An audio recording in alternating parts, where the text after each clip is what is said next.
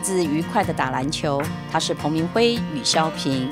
现在全家人能够在假日享受美好的亲子时光，却是过往难以想象的事情。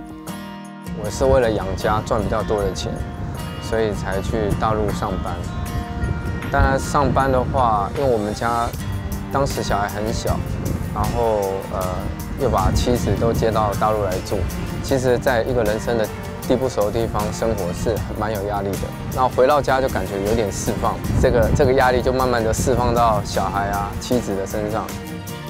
彭明辉谈着在大陆工作的压力，仍难忘怀自己火爆的脾气带给太太和孩子的惧怕。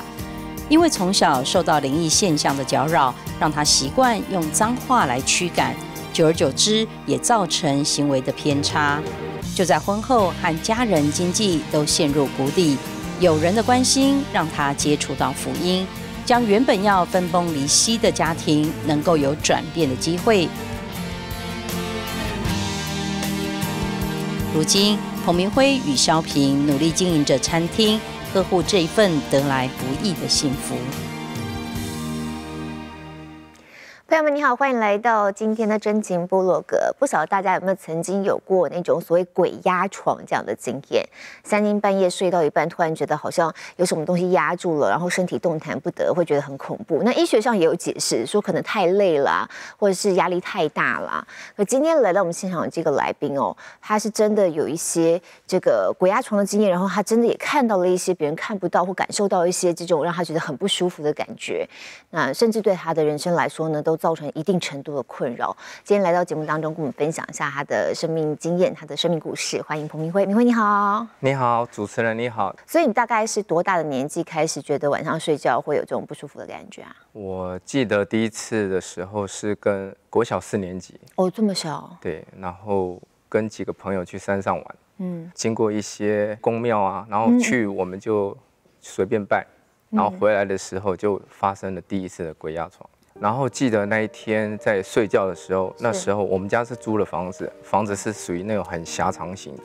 当天晚上，全身都不能动，然后好像全身被电到，嗯，这个样子，嗯，然后眼睛就眯眯张开，就发现我旁边有个人在看我，哦，这时候就发现，哎，他是浮在空中的，嗯，然后仔细看没有脸，那时候我才国小四年级，然后我就跟他大眼瞪小眼，就撑着看着他，嗯。然后就盯着他，他也盯着我。嗯，早上的时候我就跟我的妈妈去反映这个事情。是，他们大人的反应就是说不要乱讲话，没有这回事情。嗯嗯，在发生类似的事情是，例如说哥哥或姐姐或你有一个可以讨论的对象。有一次鬼压床，那一次是有也是看到又听到。嗯，然后呢，我就跟我的哥哥求救。嗯，结果我哥哥竟然还跟我说了说。他也被压，我我们是睡上下铺哦，然后我们是同时被压，但是你能讲话，我也没有办法说话，全身就很僵硬，但是头脑是很清楚的，动都动不了。所以你说你问哥哥，等于是早上起来才问？早上起来问，我就说你怎么不救我？他说他也是。哦，这个是常常发生，偶尔发生，偶尔发生，那会不会变得久了之后，你就会有种你习惯了的感觉？或者是你会有一个应对的方法。我当时被压的时候，因为是国中嘛，然后家里家里也是有拜拜，就会从家里去翻一些农民历啦，还有一些经文过来去去背，去背这个，想办法要去对抗这些东西。有一次被压床的时候，我就开始背，结果呃就隐约听到有声音跟我讲说：“你两这不好了。”哦。对，然后眼睛一睁开，他是靠我脸这么近这么近。哇哇！把我给吓到不行，但全身还是僵硬啊，感觉呼吸很很困难。嗯，这时候就开始想用自己的方法，就开始骂我们传统的国骂，骂脏话。骂脏话。哎，他竟然离开了。哦。所以就就用这个方法来自己来对抗对抗这些东西。哦，骂脏话哦。嗯。哇。那其实你们家还蛮特别，因为妈妈妈妈其实是拜拜也拜得很厉害嘛。对，拜得非常厉害，所以有时候妈妈叫我们跟着拜，我们就会拜。然后越拜的话，这个状况偶尔会缓解，但偶尔会来。嗯，这个状况是一直持续的，并不是有有跟对有有根除这样子。所以你后来就用你你知道的方法，就骂脏话的方法去处理。对，我就骂脏话来处理。哎，这个效果还是有。嗯。但会不会就变成养成一个习惯了？就是你虽然刚开始是为了要缓解这个状况骂脏话，骂骂变成就好像就习惯骂，平常生活也会不自觉就开始。对，后来说脏话就变成习惯了，然后慢慢久了，生 就开始会有一些呃暴力倾向，就是说脏话啊，嗯。啊，对同学不是很有礼貌，嗯，那对对父母亲也是，对父母亲也会啊，对。像我比较调皮，在国中的时候啊，不爱读书，然后这个状况妈妈也没办法来管教我。妈妈来，当然她会来想管教我的时候，会动手打我，对，但我就会开始来跟他们来反抗。有一次妈妈打我的时候啊，我就抓了她的双手，哎，结果我在国中二年级的时候，我第一次发现妈妈打我啊，打不动，哦，哎，因为。小时候我们这个年纪，小时候调皮嘛，妈妈都会打。嗯，有时候妈妈一举手的时候，我们就有下意识反应要闪躲。对，或是遮起来。对对对。那一次妈妈动手打我，我双手把她抓住。哎，我好像有一种成就感。哎，我好像赢了她嘞。嗯。然后也从此之后，妈妈从那一次开始不动手打我了。哦。可是你自己会开始有一些自觉，或是感觉自己不大不大对吗？例如说对父母亲。也会有比较反抗的动作，你你有开始意识到说，嗯，这个有没有问题？我觉得没有问题，你觉得没有问题？当时是没有问题的，我觉得很正常。当然我自己也想去解决这种鬼压床的问题，都会从去家里翻那个那个农民历啊，嗯，今天农民历有一页是写呃几两到几两是什么样的命，嗯嗯，你从你的命盘从什么时候出生的，然后我就开始算我的。然后我就去问我妈妈说：“啊，我是什么时候出生的？”嗯，结果一算，我的命盘是三两二，三两二是不好的，就是很轻。你的命盘是很轻。嗯，当时我还小，就会想说：“啊，难怪我这么轻，会被鬼压床。”嗯，然后有时候就抱怨：“啊，妈妈你怎么不晚几个小时出生我，我就会到四两多了。”所以当时是很相信这种东西，所以。鬼压床的状况，我就会觉得说，这个好像是我命中注定要发生的事情。嗯，所以会比较自卑吗，或是自怜自哀？其实外表上不会，其实我内心里面会。嗯，内心里面会，因为有鬼压床的状况之下，那个读书没办法专心，因为别人晚上是在读书，我是在看《金刚经》啊、大悲咒啊。因为你会怕哈？我会怕，对我会怕。所以晚上要去看这个东西，所以书当然读的不是很好。洪明辉的母亲曾因债务问题，透过走宫拜庙而解决，让他对灵界的能力深信不疑，并且在家中开设宫庙贴补家用。只是长期让孩子看着他求神问卜，不知不觉也影响到孩子。真实遇到，呃，有一个。人就是这样子跟我说他被鬼压，我其实是吓一跳。尤其他特别在讲说他那个描述他那个过程，我会觉得哇，那个每天晚上一定是非常痛苦，没有办法好好睡，然后很压抑。睡眠如果不好，一定脾，我觉得脾气应该也不好。因为现在的人其实失眠的状况很严重，我自己以前还没信主的时候也是常常失眠。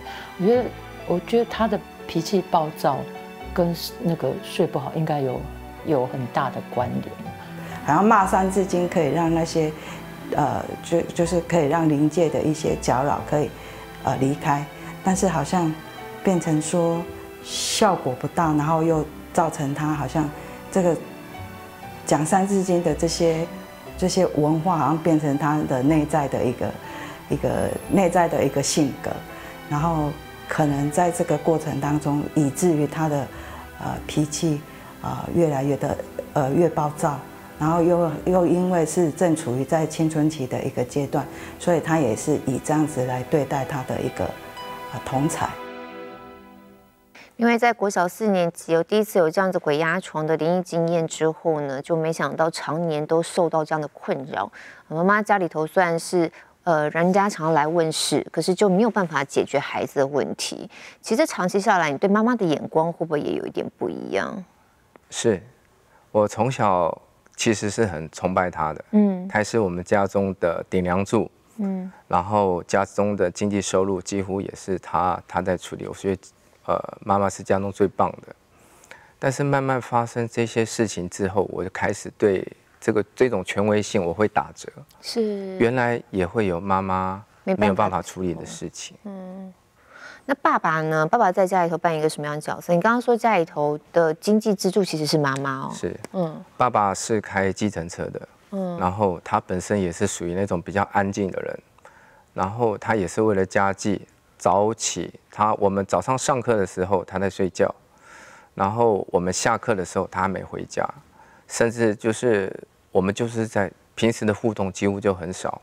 关系比较疏离，然后问他事情的时候，他最常说的一句话啊，这件事去问你妈妈。哦，那爸爸妈妈之间的互动呢？在我有记忆以来，他们就关系不是太好，大多都是为了钱的事情在那争吵。爸妈之间这样的相处互动，你觉得对你来说，你看在眼里，你心里头有一些什么样的想法吗？呃，这个两个人的关系，对我们儿女来讲，潜移默化当中对我们的影响是很大的。嗯，等于说，在我的人生的成长过程当中，我可能只有母爱多一点，父爱少一点。嗯，爸爸是比较缺席的角色。对，属于这种住在同一个屋檐下的缺席的角色。所以我觉得某种程度，妈妈也把自己的重心会放在孩子身上。哎，嗯，对呀。嗯，那你自己在学校的状况又怎么样呢？那我刚刚说到，就是妈妈她管教我的时候都是用打的，后来她就干脆不打了。嗯，她有次带我到那个。理发厅去剪头发，她就说：“我给你两条路，第一条路就是你到理发厅去做学徒，嗯，第二条路是到庙里面去当八家将。”你那时候多大？国中三年级。国中三，呃，我一般就是要考高中的阶段。对对对，那我就我就想一想，嗯，剪头发好像很丢人呢。其实当时是小孩子嘛，小孩子的心态。然后八家将不好。我就跟妈妈讲，哦，我前面两个我都不要，嗯，我要考试。哦，你要考试？对，虽然你读书不行，但你还是要考试。对，其实我在国一、国二的时候，功课还是算算算前面的。嗯，有一次，呃，国二下学期的时候要做国三的分班的考试，前一天我刚好感冒了，嗯，我就没去上课，嗯，然后第二天来上课的时候，老师就把一张考卷丢下来。说赶快写一写，我就问隔壁的同学说：“啊，这写这张要干什么？”嗯，他就说：“没事，你就随便写。”我就好，我就拿过来写我的名字，写一二三三二一，一二三四五真的乱写。然后我就交给老师，大概写这张没有花三分钟，嗯，因为没看题目嘛，嗯，结果我就被学校分到最差最差的班级去。哦，当时我也请跟跟妈妈有反映这个问题，说我不想到这个班级去，嗯。然后妈妈也陪我到教务处去反映这个问题，结果也没办没办法，所以我就被能力分分班到这种能力的班级。嗯，当时想要读书你也读不了。嗯，全班可能就是全校最奇葩的人待在同一个班级。嗯，我记得有一次我八点多我迟到我去上课，进去打开班级只有两三只小猫在那，还有老师。我想说哇，我同学在哪里啊？都连上学都不上的这种啊？对对对，然后第一堂课啊结束之后不行，我说我们我就爬墙翘课，嗯，到隔壁的那个电动玩具间，门一开，哇，同学都在里面，哦，所以我是在这种环境下长大的，所以怎么可能读好书？哎，不一定啊，你就想说这样子我随便读都可以考班上第一名，但是联考就就没有办法。哦哦哦，所以真的就是也分到了一个没有念、完全没有读书环境的、没有读书气氛的那个班。对，所以某种同某种程度也就被影响了，就这样，也都真的就算了，就没再对对对。啊，但问题是妈妈问你的时候，她说你要不然你就来做理发店，要不然你去做八家将，可是你还是选择那我要考联考，我要读书，要读书。为什么你会选一个你自己其实没什么兴趣的？因为当时还小嘛，不知道，觉得看大家好像就是联考，呃，国中毕业之后就一定要考试，对啊，也不知道考试之后，呃，读了高中之后要干什么，不知道，看大家都是这样走，那我也只有这样走好。感觉我的人生被一种莫名的力量这样推着走，嗯，就走一步算一步的那种感觉，就是没有计划，没有目标，我就三两二命运不就这样吗？哦，慢慢的进到有一点自我放弃的感觉，嗯，还有点带一点自卑，就觉得说我这么倒霉，好像是很正常的。哦，对我我就不是这种命嘛，然后就去算哥哥姐姐啊，他们他们功课会稍微好一点，嗯，他们算起来都四两多五两多，哎呀，很正常。哦，就更加了让自己的这个这个说法可以更合理化。我对我的逻辑就对了，是对的。对，嗯嗯。去是管资讯部跟行政部。是。然后有一次司机在工作上开车把人家给撞了。嗯。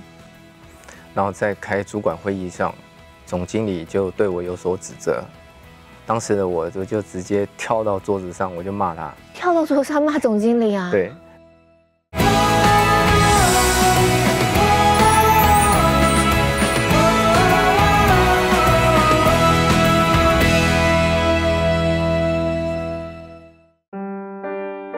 到比较大的软体公司上班，然后再学到这个企业资源管理规划这个技能，然后自己本身对电脑组装伺服器都比比较有兴趣。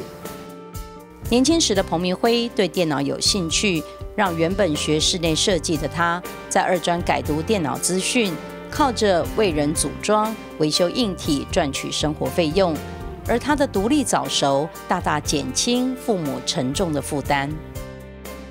他一个人就是开了一间素食的早那个呃早午餐店，他一个人从头到包括采买，包括料理，然后全部自己一个人去打理，然后那一个素食的早午餐店，真撑起他们这个家，甚至撑起他的那个婆家跟他先生这边夫家，就都靠那个早餐店，而且这样子一个一个状况是撑了十几年，那。你你可以想象那个体力，光体力的负荷真的是非常惊人。但是妈妈就是这样子一直去 hold 住这个家庭，我觉得我觉得这真的是嗯只有只有实际经历过的人才能够体感受到那个辛苦。爸爸啊开计程车，那可能是呃从小这个经济状况不是那么的啊优渥。所以，那妈妈应该，妈妈就是会也有一些接触一些传统的信仰，然后要为了要替家里增加收入，只是说在这个会有一些拜拜的一个过程当中，那以至于家里会有一些呃不是那么的平静。他有一次问问爸爸说：“爸爸，我我跟钱谁比较重要？”然后爸爸就直接回答说：“当然是钱比较重要。”然后。明辉虽然是笑着这样在跟我讲，可是我觉得他他的心里就是一个受伤的一个状态。对，在我看，我觉得我觉得还蛮心疼他的。虽然不是很喜欢念书，成绩也不好，但彭明辉还是考了联考之后，后来是在高中阶段认识他太太，今天来到我们现场，欢迎小品，你好，好，主持人你好，大家好。所以你们后来结婚之后，很快的，你是不是就去了大陆工作了？对，嗯。为什么会有一个是有一个比较好的工作机会在中国吗？还是你自己怎么会想要去到那边工作，离家这么远？是啊，当时是二零零二年，是我的老二出生，嗯，因为他生出来他是一个残缺的小孩，哦，对，其实去大陆的理由就是我想多赚一点钱，给小孩子医治他的他的手。对，我刚刚有看到一张照片，出生的时候就是左手，是不是？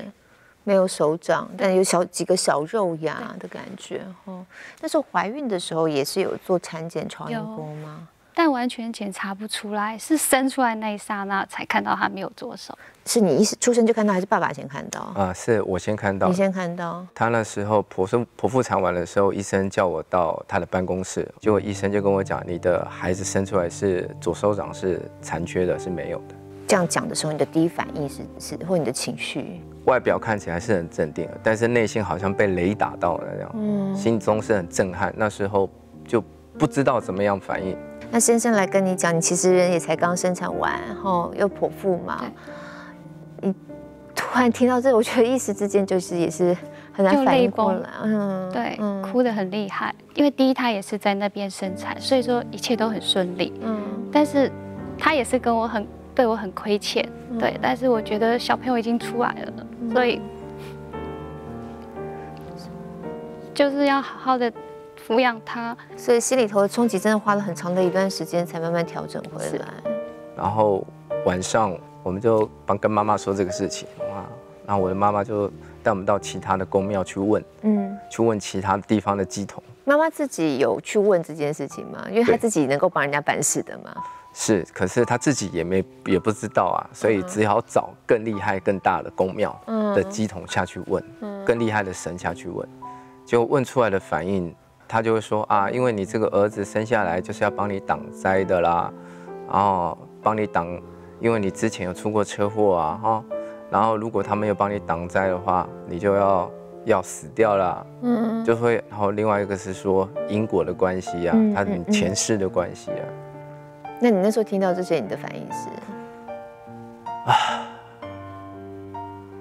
其实是外表不相信，可是内心已经默默接受这种，嗯，这这种这种标准答案，嗯，这就是你前世造成的。可回头看到孩子跟孩子没有关系啊，你就会觉得对这孩子就更心疼哈，照顾上面会不会比较辛苦一点？孩子长大的过程，因为他自己也蛮乐观的，所以说他在学校也因为他的手这样子，他跟同学之间更融洽，因为他知道自己要用其他的方式让小朋友认为他是正常的。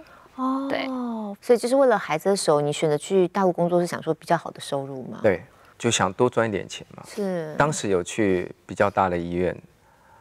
去给医生检查，他说这个可以做外科手术，可能把他的小的脚的食指把它接到他的手掌上来，可能但是花的钱是很多的，是，所以当时就毅然决然的就是换份工作，嗯，然后就选择中国大陆工作，嗯，你自己一个人去？我自己先去。那去了之后状况觉得我很稳定吗？很快的工作状况稳定？在当时的生活及工作上，我就开始忘了我去的初衷。嗯，来这个地方不是就要赚钱嘛？嗯，然后要买更大的房子啊，嗯，更好的车啊，嗯，就开始变成我当时在中国大陆的人生目标。哦，然后就慢慢的忘记，其实我来中国大陆的目的，其实是要给我的小孩还有家里一个更好的生活。就反倒都是比较物质上面的，对，呃，欲望会越来越高这样子。对，那太太跟孩子就一直都在台湾，你们一直都是过这样子分隔两地的生活啊？工作比较稳定了，收入也比较稳定了，嗯，就把呃小孩跟妻子都接过来这边一起生活。嗯，那一起生活之后，彼此的互动状况有比较好一点吗？没那么生疏？啊，我太太其实是一个很好很好的太太，她在我的生活起居上照顾我非常非常的多。嗯。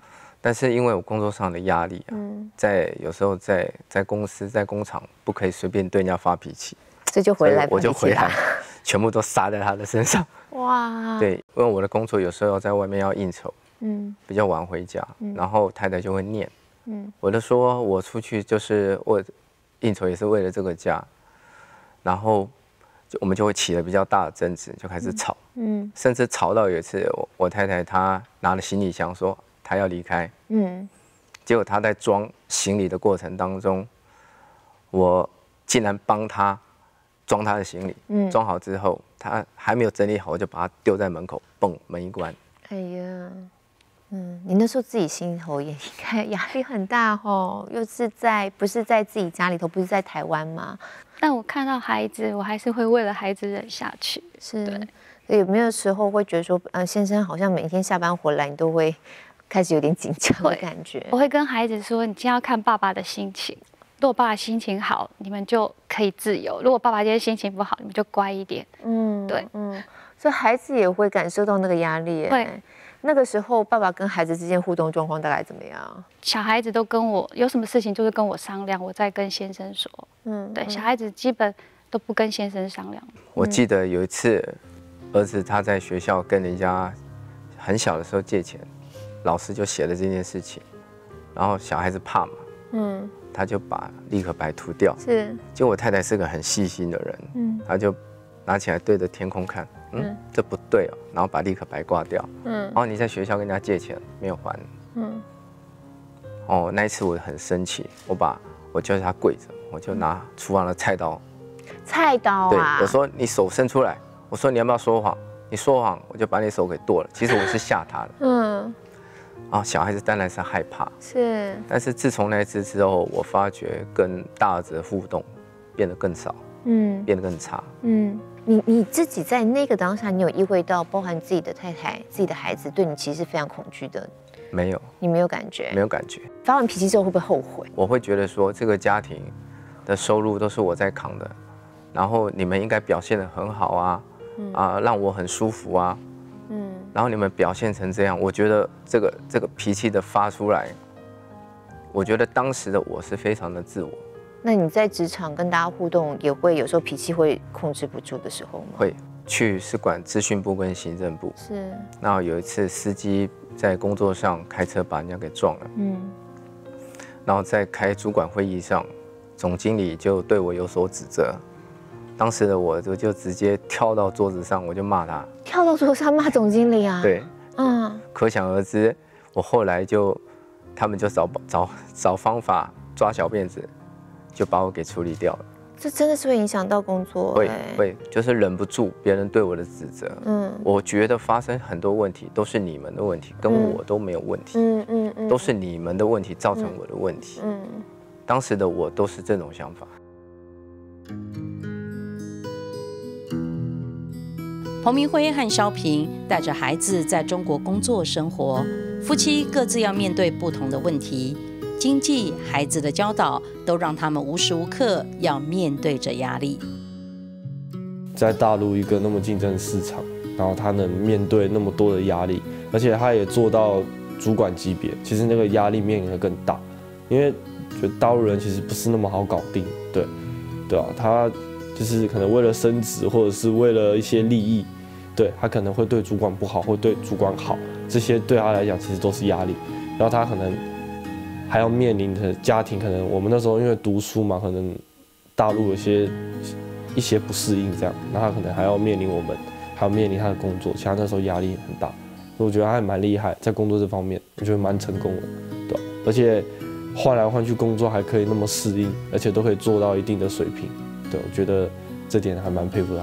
爸爸之前常常去出去外面应酬，然后也都很晚回家，然后他可能爸爸不回家，他也没办法睡觉，然后可能凌晨两三点，然后早上五六点又要送我跟哥哥去上学，然后每天每天都这样，就很辛苦，然后还要晚上回家还要做饭给我们吃，然后辅导功课啊什么什么的。那时候是没什么感觉，可是你现在去想，会觉得说。哇，妈妈那时候真的是很辛苦。那后来工作上面有一些什么样其他的机会？当时刚好我的哥哥就说，让我们一起到厦门创业，开了一家公司，开一家电子商务公司。嗯。然后我们就举家从上海搬到厦门去。嗯。一年的当中，这家公司烧钱烧得很快，是跟哥哥的争吵，也因为理念的不同，在公司也是争吵，争吵的非常厉害。那公司要面临要收的状况，又面临投资款没有了，要面临我户头没有钱了，要面临我又要失业的这种状况。其实双重各种的压力下来，其实我心里是很压抑、很压抑的。然后就对着窗外，看着天空，我就在那呐喊说：“有没有老天爷啊，可以帮帮我啊？嗯嗯，解决这个困境。”嗯。然后这家公司因为还有一些股东、大股东在，然后大股东就派。从台湾派过来要来结算这家公司，嗯嗯，然后就一个姐妹过来，当时我们不知道她是基督徒，她就用通讯软件把我加上，嗯，她的通讯软件，通讯软件下面的那个签名就是“人的尽头是神的起头”，哦，哎，我觉得这句话很有意思哦，嗯，是谁告诉你的？你就主动问他，我就主动问他。他就跟我讲，人的尽头是神的起头，然后一直用圣经的话语开始慢慢的安慰我。嗯，后来我就跟他说，那我这样子，我决定要换一个信仰，我要换一个你相信的这个神。嗯，所以就在大陆就在找教会吗？没有没有，因为很困难吧？我在这个这个也是台湾过来的一个姐妹，然后我就跟她约时间，你什么时候回到台湾？嗯，我要跟你回台湾的教会去受洗。可在那之前，你没有真的进过教会啊？没有进过教会。嗯，当时我觉得神的拣选是蛮好的。当时我真的是走到尽头了，已经没有路了，嗯，山穷水尽了。人家对我传福音，我就觉得我好像抓到一个浮木，抓到一个一个一个一个希望。那第一次去，你们都是第一次去嘛，对不对？对，这辈子从来没进过教会，从来没有。感觉是怎么样？进到教会啊。呃，我说我们要受洗，那教会就开始确认我们的信仰。对呀，因为就是从来都没出现过的人。要，然后就开始跟我们讲解。嗯。然后我就跟我太太讲，哎，我们明天要受洗，我们在受洗的前一天还大吵一架。嗯嗯。哎，我太太就说我说，你怎么做事情都这么这么这么的鲁莽。然后我我我当天晚上其实很想发脾气的，我就想不行，我一定要让我太太信耶稣之后，我才能发脾气。我那天就压抑住我的脾气之后，第二天早上我是求了他说你要不要去啊？所以你对于先生莫名其妙就说要受洗这件事情，你你的想法当时是？其实我小时候就受洗过，但我不清楚那时候，因为我妈妈是原住民，所以她都会带我去教会，然后我也受洗过，但是完全。不懂，嗯嗯嗯。那因为先生说要去受洗，我想说你至少要告诉我们原因，或是说跟小朋友解释，不是说机票买了就回来，然后明天就要受洗。嗯就小朋友觉得很奇怪，为什么我们要回台湾？对。然后为什么要去教会？为什么要受洗？洗什么？什么是受洗？对对对，他们完全不清楚。对。但是因为他比较霸道，所以我们还是 乖乖的听他的话。嗯。对，洗完隔天就回厦门。真的专程回来洗的。对对。那你自己会觉得有一种莫名其妙的感觉？对，其实我不反对，可是我是觉得他做事会比较，就是不会跟我们商量，他说一我们就不能说二。嗯，那时候当时是这种心情，会觉得说你什么都要赢，什么都要听你的，我们完全不能有意见。嗯，就是为了这个吵架，并不是因为这个信仰的问题。是是是，这么多集的真情里头，我觉得我是第一次 听这样子就稀里呼噜的就冲回来就就洗了这样。对，你你自己有什么？怎么会这么强烈的想要受洗啊？我觉得信了耶稣之后，呃，换个信仰可能有帮助。所以就这样稀里糊涂受洗完之后，你真的觉得有什么帮助吗？在一段期间之后，我就发觉，哎，我鬼压床的状况没有了。哦，没有了。我到现在一次都没有。所以在临界搅扰这个就断了，就断了。那在现实生活上，你在工作上面呢？因为你已经到了尽头了嘛，当时要休息的时候。是是，嗯。后来就鼓起勇气，就回到上海重新出发。是。大概有八个月的时间是失业的。嗯。然后我这个人又很爱面子，在家又很霸道。嗯。我不敢在太太的面前祷告，我觉得很丢人呢。在太太面前祷告，真的很丢人呢。这怎么可以在太太面前跟上帝求什么？我，所以我当时养成一个习惯。啊，每天晚上要去跑步。嗯，那我们住在郊区，有个桥，然后我我每次跑到那个桥啊那里，人很比较少，看看人很少，我就对着耶稣说：“耶稣啊，求你赐给我工作，主啊，求你赐给我工作，以后你叫我做什么，我都做。”嗯，阿门。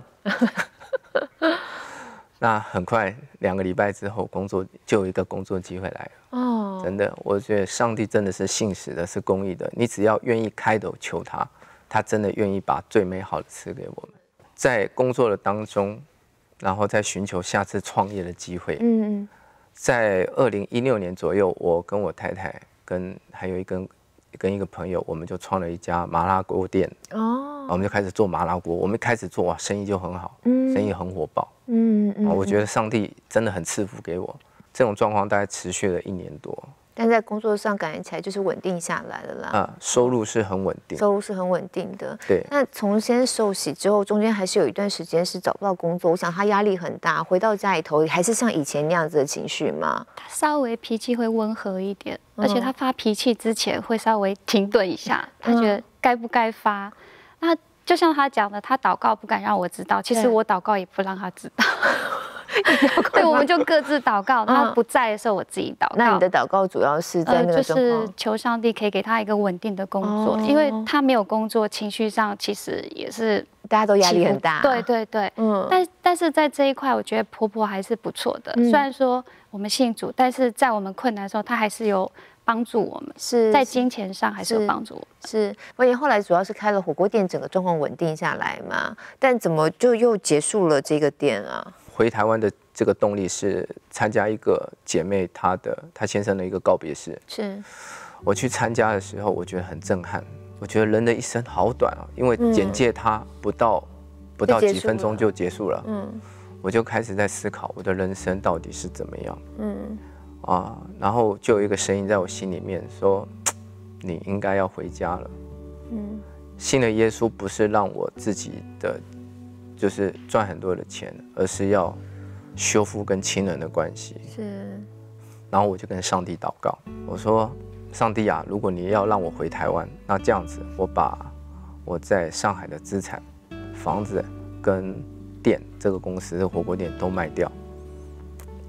啊，如果你让他卖的好价钱，啊，就是代表你同意。结果我房子一挂出去，五天的时间就卖掉了。哇，好快啊！很快，我想，哇，神的心意就是要我回来。嗯。然后公司也是在两个月当中，都是合适的价钱，就把它卖了。是是，透过这个商礼的服饰，让我去看，亲眼去看人世间什么是最重要的。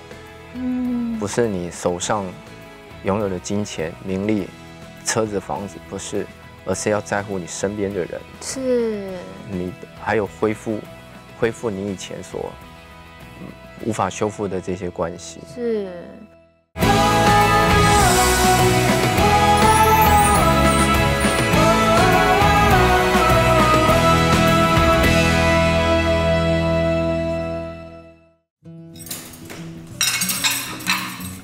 虽然彭明辉对孩子严厉，但是在面对缺了左手掌的儿子彭伟哲，仍旧会不时表达他的鼓励。常常会找那种外国的影片，就是做义肢啊，或者是国外人比国外的小朋友可能有比我更可怜的怎么样，他就会拿这些例子来跟我说：“哎，其实你这样真的是算还算轻微，所以说你不要觉得自己哪里不好哪里不好。”然后他就会。虽然说他的讲话态度就是比较硬一点，就是可能说只是随口一两句，可是你知道他还是很关心我，就是说，哎，你这样，你很棒，对你没有什么比不上别人的。彭明辉在信仰的教导和丧礼事工的领悟，让他对生命有很深的感受，而这一份体会也改变他与家人的关系。每次呃，萧平在。分享过去的状况时候，大概讲讲没两分钟就掉泪，因为就想到说以前嗯跟明辉的一些争执，然后可是后来慢慢的一年半，他们稳定在小呃教会聚会，然后也也开始在教会就是服侍，你你就看到他们两个关系透过透过神的医治之后越来越轻松，我们有时候会在教呃在小组。就有一些互动的呃过程嘛，那还有拍影片，然后就你就会看到他们两个很很可爱，然后呃那个明辉就会赞美萧平说啊，我老婆真的是太美了，那个虽然不用特别打扮也很美，但是都会特别为了打扮，在家里先擦完地板之后，又换上很漂亮的衣服陪我出来聚会，他就这样很公开的去赞美萧平，然后萧平萧平也会那个。很开心的去享受这一切，他就他就一直跟我们分享说，这在以前是不可能。开始会学着慢慢跟我们沟通，对，不会像在以前的人，他是听都不听，我就是我不爽就是不爽，对我要对你发脾气就发脾气这样。现在他可能虽然他有时候因为人的脾气有时候其实很难控制，但是他现在真的会学着控制，就是会好好先去讲，他讲完就好，他不会像以前这样。然后，呃，不人际关系啊。或者是对我们，或者是对自己老婆、对我妈，就是都会很好，包括对阿公阿妈就差很多。以前态度也很差，有时候回台北就是吵架，这样也不知道为什么就是吵架。然后台北的亲戚那些都很怕我爸，差很多，真差很多。我回到台湾还是有工作上面的考量吗？那时候刚回来有工作吗？刚回来没有工作。嗯嗯，有想法吗？回来嘛，第一件事情，我们就是找教会，嗯神也引导引导到我们到现在的夫妻教会里面去，是，然后也参加教会的所有的装备、训练课程，我们完全是这次是真正的从零开始学习。是在这个过程当中，你有一些什么不一样的领受吗？我觉得神真的很特别，嗯教会就问你说，你要不要做一点服侍啊，服侍神的工作啊？然后我心里面就想，可以啊，因为那时候我们要从大陆回台湾，神帮助我们这么多，服侍神没有什么不可以的。然后刚好那时就有一个服饰，说是要做丧礼的服饰，我就说可以。这服饰很特别，这服饰非常的特别。服饰的童工带我去参观殡仪馆的停尸间，嗯，然后说告诉我说，嗯，啊，等一下这个姐妹啊会从那里移出来，是在第几号？嗯，然后我们去看怎么样把它移出来，找了七八间都找错。哦，对，我觉得那个对我是一个很大的震撼。我当时是想，如果是我以前的宗教信仰，我想我完了，我一定 Q 刷掉，刷掉，我回家一定睡不好。对对，又又又一定要压了。对对对对对。可是每看完一间，我发觉我当时我的反应完全是不一样的。透过这个丧礼的服饰，让我去看，亲眼去看人世间什么是最重要的。嗯，不是你手上。拥有的金钱、名利、车子、房子，不是，而是要在乎你身边的人。是，你还有恢复，恢复你以前所无法修复的这些关系。是，你有这样的体验之后，你回到家里面对太太、面对孩子，我觉得会更有爱。以前，以前我会会去批评他，现在我有一种，现在我会祷告，跟上帝祷告，主啊，谢谢你赐给我这么好、这么贤惠、这么。贤德的妇人真的是天上掉下来都没有这么好的。嗯，我现在是可以开始做这种祷告。是，我是感谢上帝赐我这么好的妻子，这么棒的小孩。是，所以太太她有，你有听过他跟你讲过这段话？都赞美我。对，那跟以前实在差太多了。对，所以你自己心里头听起来的感受是，就。感觉非常的温暖，我觉得我没有嫁错人，而且会觉得这神在太神奇了。因为以前的他在你来说，你是也也觉得压力很大。对，像以前如果呃，可能我今天的装扮很奇怪，他就把我骂的，就是说你是欧巴桑啊。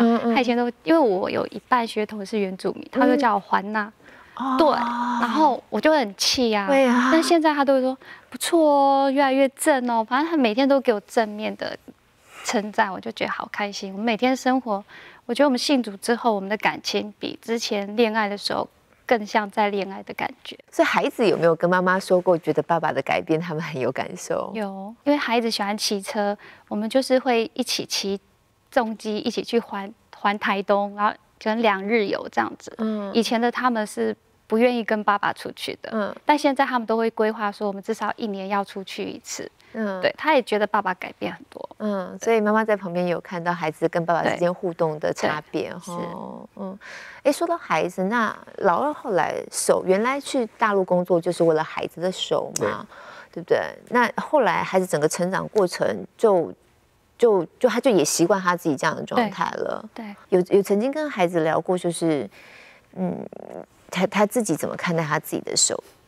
他是有问过我说，为什么别人都有手掌，我没有？嗯，那我是跟他讲说，上帝塑造你，就是会在你身上彰显他的荣耀。然后我说，因为你太棒了，必须要有一个地方要有一点小残缺，所以说上帝爸爸就给你少了一只左手掌。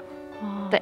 对，那真的是有了信仰之后会有不一样的看见哎，要不然做妈妈的可能别人的一个眼光，或甚至小孩的手，你就想把它藏起来之类的感觉，其实也心里头也很纠结。我也问过上帝这种这个问题，结果神就透过约翰福音第九章来回答我。耶稣的门徒问耶稣：是谁的错呢？这个人生来瞎眼，是他犯了罪，还是他的父母呢？嗯，结果耶稣的回答非常安慰我。耶稣说。要在这个人的身上显出神的作为来，显出神的荣耀来。哦，我的心里面的石头跟想法三两个全部都掉了。所以我现在很感谢我这个儿子。啊，平心而论，若他的手是好的，我会待在台湾，我不会信主。嗯，神也是透过他的手，让我们全家进入耶稣基督的这个爱的国度里面。嗯，所以我现在也很感谢我这个儿子，我觉得是上帝，真的是带这个小天使来我们家。嗯，那回头有跟妈妈也分享这个信仰吗？因为毕竟妈妈都是在公庙里头这么多年嘛，然后又帮人家办事的。是，有一次妈妈啊生病，我特地把她接到高雄来这边一起来住来休养。是，我还把她带到夫妻教会啊，参加主日的聚会，结果上帝的光就照到我的母亲，我的母亲在呃我们小组长在为他祷告的时候，哇，他就流泪，心里面感受到那种上帝的温暖。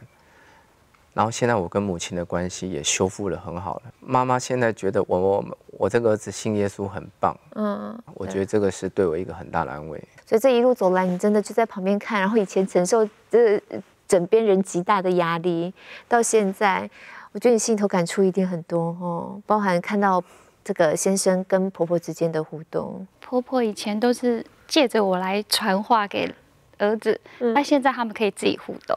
嗯，对，然后婆婆又跟我提说，哎，我觉得我这个儿子怎么突然变得那么温柔？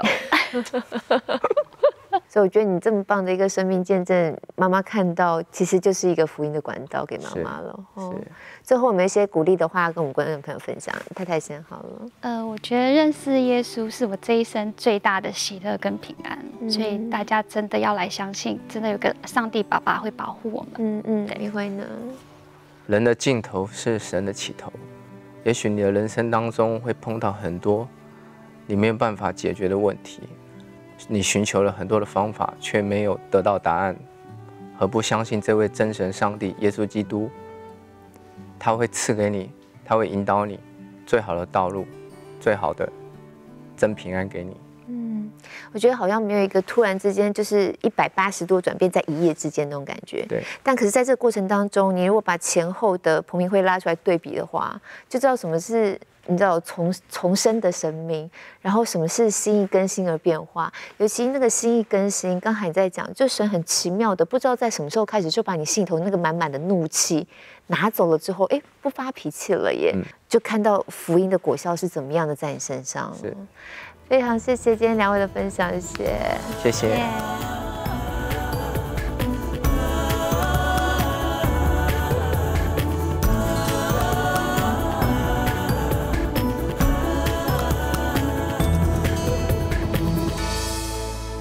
亲爱的朋友们，当我们听到彭弟兄他们夫妻的见证，有一个关键字，我觉得深深的抓住了我。我相信对许多人呢，也会带来极大的一个改变。